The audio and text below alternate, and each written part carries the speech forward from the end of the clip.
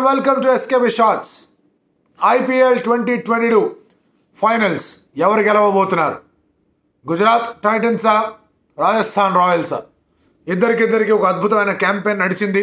One were given some kind of thoughts వీళ్ళ దగ్గర మంచి టీం ఉంది. వాళ్ళు డెఫినెట్గా ప్లే ఆఫ్ మెటీరియల్ అని. ఒకళ్ళైతే అసలు వీళ్ళు ఎలా ఆడబోతున్నారా ఏంటి అనుకున్నారు. బట్ ఎలా ఆడబోతున్నారు ఏంటి అనుకునే వాళ్ళ దగ్గర నుంచి ఇలా ఎలా ఆడరా బాబు అనుకొని అనుకునేలాగా వాళ్ళ ఆట తీరు చేసింది వాళ్ళు ఫైనల్స్కి రీచ్ అయిన మొదటి జట్టు అయితే ప్లే ఆఫ్స్ దాటడం కష్టమే. ప్లే ఆఫ్స్ దాకా వచ్చేస్తారు అనుకున్న వాళ్ళు రెండవ జట్టు అయ్యారు ఫైనల్స్ రీచ్ అవ్వడానికి.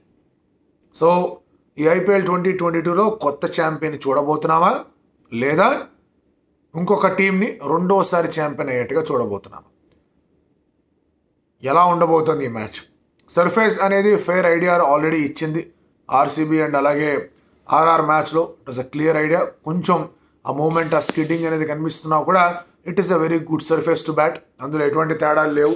డ్యూ గురించి మనకి అది ఎంతవరకు రియాక్ట్ అవుతుంది ఏంటి అనేది రేపు ఒకసారి వెదర్ రివ్యూ చూసిన తర్వాత అర్థమవుతుంది. బట్ అదర్వైజ్ మనం అబ్జర్వ్ చేసుకుంటే కనుక I don't think there is any problem at all ఇవాళ సన్ రైజ్ అనేది ఎలా ఉండబోతుంది టెంపరేచర్ అనేది టెంపరేచర్ డిఫరెన్స్ అనేది ఎలా ఉండబోతుంది తద్వారా అక్కడ ఇంకేమన్నా అబ్- ఏమన్నా ఉందా లేదా అని. ఎందుకంటే ఐపీఎల్లో ఇప్పటిదాకా అసలు డ్యూ గురించి టాపిక్ రాలే. Starting two three starting two weeks తర్వాత దగ్గర నుంచి. Groundsmen have really good job and ఈ పిచ్ కూడా బాగుంది. So definitely we can expect some good runs అనుకోవచ్చు. And Rajasthan Royals will hope that Jos Buttler's uh juggernaut అనేది అలాగే continue అవ్వాలి. తను కనుక వన్ ఫిఫ్టీ స్కోర్ చేస్తే Virat Kohli's nine seventy three రికార్డ్ని break చేస్తాడు.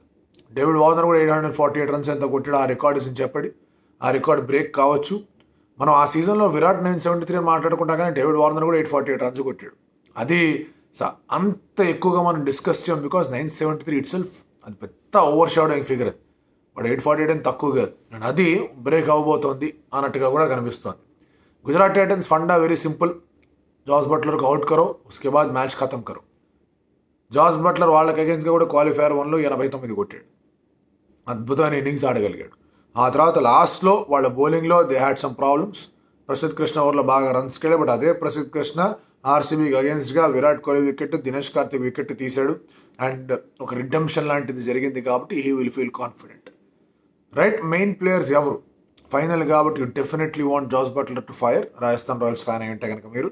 So Jos Buttler Sanju Samson of course again and you want Chahal to pick wickets చహల్ని Miller and Hardik Pandya చాలా జాగ్రత్తగా రెస్పెక్ట్ఫుల్గా qualifier వన్లో ఆడారు.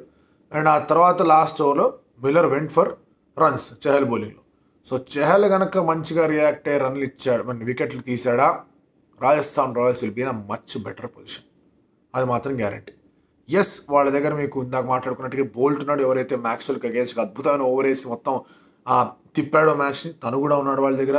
You have Ashwin who can perform really well for them Prasidh ఉన్నాడు Obed McCoy కూడా బాగా అవకాశాలు ఉన్నాయి. Hetmyer with the bat can do wonders Jaiswal దగ్గర నుంచి మంచి స్టార్ట్స్ వస్తున్నాయి. మంచి టీం ఉన్నా కూడా ప్రిడామినెంట్గా వీళ్ళ ముగ్గురు.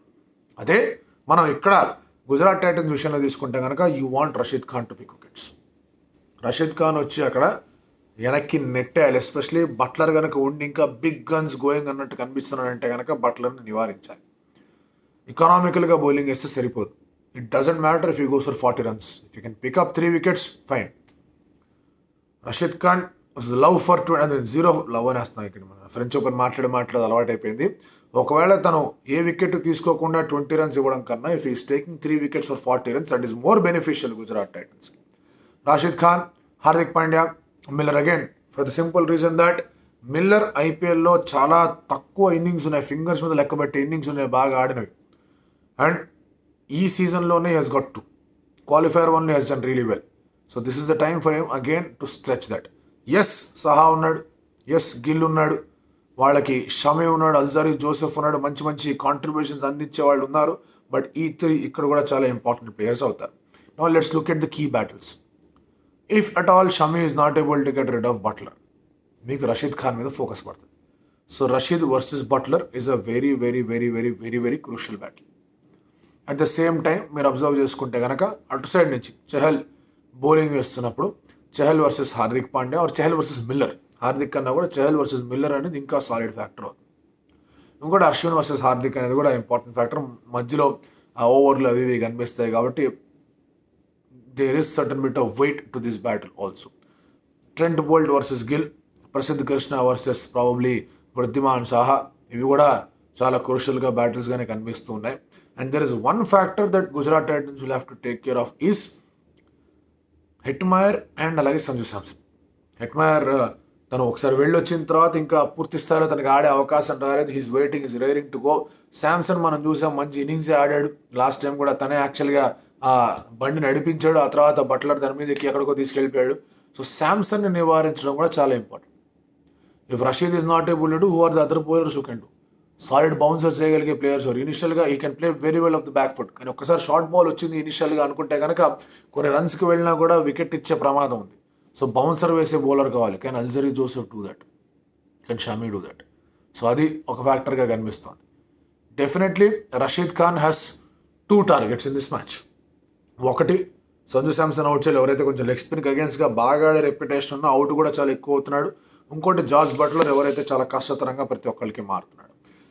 జార్జ్ బట్లర్ యాక్చువల్గా defence law of averages very well స్టార్టింగ్లో పీక్ సీజన్ మధ్యలో డ్రాప్ మళ్ళీ పీక్ సాధారణంగా పీక్కి టప్ అని ఇక్కడ పడతారు ఫైనల్స్లో ఎప్పుడైతే అవసరం ఉంటుందో అప్పుడు. అలా కాకుండా జార్జ్ బట్లర్కి ఆ లో కూడా వచ్చేసింది కాబట్టి is only going high probably he has achieved is high and తర్వాత మళ్ళీ ఇంకొంచెం లో మీడియోకర్ ఉందనుకొని ఇక్కడ గుజరాత్ టైటన్స్ అనుకోవాలి. లేకపోతే కనుక Jos is the boss and also there is lot of emotion attach Rajasthan రాయల్స్కి they want do it for their first royal Shane Warne కోసం చేద్దాం అనుకుంటున్నారు. ఫైనల్ దాకా వెళ్ళడం ఒక ఎత్తు ఫైనల్స్కి వెళ్ళిన తర్వాత మీకు ఇమోషనల్ డ్రైవ్ అనేది వచ్చేస్తుంది. అది వీళ్ళ దగ్గర గట్టిగా ఉంది. Gujarat Titans on the other hand they want to be that first team first సీజన్లో ట్రాఫీ గెలిచి రాజస్థాన్ రాయల్స్ చేసింది వీళ్ళు చేయాలి అనే ఆలోచనలో డెఫినెట్గా ఉన్నా కూడా ఆ ఇమోషన్ డిజైర్ అనేది ఏదైతే రాజస్థాన్ ఉందో అది అది వాళ్ళని డ్రైవ్ చేయకుండా వీళ్ళు అద్భుతమైన బౌలింగ్తో ఆపగలగాలి. అండ్ ఇంట్రెస్టింగ్ ఫ్యాక్ట్ ఏంటంటే what will Hardik Pandya do with this bowling bowling వేయడానికి సిద్ధపడతాడు వేయడానికి రెడీగా ఉంటాడు. ఇన్ఫాక్ట్ లాస్ట్ లీగ్ మ్యాచ్లో తనే బౌలింగ్ వచ్చేసాడు. సెకండ్ ఓవర్ వేయడం మొదలుపెట్టాడు. ఇప్పుడు ఇక్కడ తన దగ్గర బౌలింగ్ రిసోర్సెస్ చాలా ఉన్నాయి. సో ఇలాంటి పరిస్థితుల్లో విల్ హీ బౌల్ అదొక ప్రశ్న. And then the middle order of Tewatia Rashid ఏదైతే ఉండిందో అక్కడ సిక్స్ సెవెన్ పొజిషన్లో if at all quick wickets పడ్డాయంటే కనుక వీళ్ళు ఏ విధంగా ఆడగలరు అనే ఒక క్వశ్చన్ మార్క్ కూడా ఉంది. So Hardik Pandey as a batter might slightly be under more pressure బయట కనిపించకపోయినా he might have enjoy doing all those things వాడు ఎప్పుడైతే తన టూ డౌన్ వాకింగ్కి వస్తాడో తన మీద అడిషనల్ ప్రెషర్ ఉంటుంది. ఒకవేళ రెండు వికెట్లు పడ్డాయంటే with in let's quick succession కాకపోయినా మంచి టైంలో ఒక టెన్ టెన్త్ ఓవర్లోనో నైన్త్ ఓవర్లో టూ వికెట్స్ పడ్డా కూడా it's a pressure time for Hardik Pandya so అది వీళ్ళు ఎక్స్ప్లోర్ చేయడానికి ప్రయత్నించాలి especially bowlers like Ashwin fastly experienced so వాళ్ళు డ్రైవ్ చేయాల్సిన అవసరం కనిపిస్తాం ఆన్ పేపర్ ఎప్పుడు చెప్పేదే? Rajasthan రాయల్స్కి they don't have multi taskers అంతగా ఎక్కువగా లేకపోయినా కూడా they can do well with their team Gujarat Titans వాళ్ళు వాళ్ళ వాళ్ళ గురించి మనం ఏం చెప్పినా అటు ఇటు అవుతుంది. వాళ్ళు చెప్పడానికి కొంచెం ఆలోచించి చెప్పాలి. But still all those factors taken into consideration on paper Rajasthan Royals might look the stronger side but Gujarat Titans వాళ్ళు ఎలాగైతే ఒక టీం వర్క్ చూపించారు. స్టార్టింగ్లో ఇండివిజువల్ పర్ఫార్మెన్సెస్ మీద థ్రైవ్ అయ్యారు షమి తర్వాత హార్దిక్ ఆ తర్వాత ఒక శుభ్మన్ గిల్ ఆ తర్వాత అందరూ కలిసికట్టుగా ఆడడం మొదలుపెట్టారు. So so we can't really say ఈ టీంలో ఇది ల్యాకింగ్ ఆ టీంలో అది ల్యాకింగ్ అని చెప్పేసి but as their middle order definitely is susceptible to a problem Rajasthan Royals middle order కూడా వాళ్ళకి ప్రాబ్లమ్స్ కనిపిస్తూనే ఉన్నాయి. వాళ్ళ దగ్గర వెరైటీ వీళ్ళ దగ్గర వెరైటీ పోల్చుకుంటే కనుక ఇబ్బందికరంగానే మారే సిచ్యువేషన్స్ కనిపిస్తున్నాయి. కానీ యూ హ్యావ్ మోర్ కాంట్రిబ్యూటర్స్ లాగా ఉన్నారు అక్కడ రాజస్థాన్ రాయల్స్ అండ్ ఆ విషయంలో ఆ ప్రెషర్ పాయింట్ ఆల్రెడీ నేను మాట్లాడాను కాబట్టి గుజరాత్ టైటన్స్ అడిషనల్ ప్రెషర్ ఉండొచ్చు. ఫేవరెట్స్ చెప్పడం చాలా కష్టం. It is a western derby final వెస్ట్లోనే ఉండబోతోంది. మరి అది ఈ అహ్మదాబాద్ స్టేడియంలో నరేంద్ర మోదీ స్టేడియంలో గుజరాత్ టైటన్సా రాజస్థాన్ రాయల్సా చూసి చెప్పండి. మీరు ఏమనుకుంటున్నారు?